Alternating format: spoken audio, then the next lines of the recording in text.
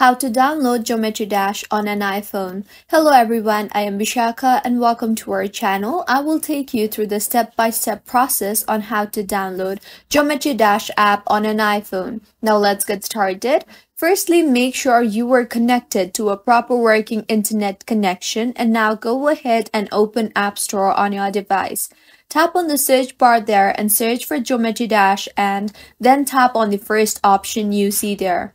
If you have previously downloaded Geometry Dash and deleted the application, you will see the download button with little icon in there. So tap on that for the download to begin. And if you have not downloaded the application previously, you will see the get option. So tap on the get option and enter your Face ID or Apple ID password for the download to begin.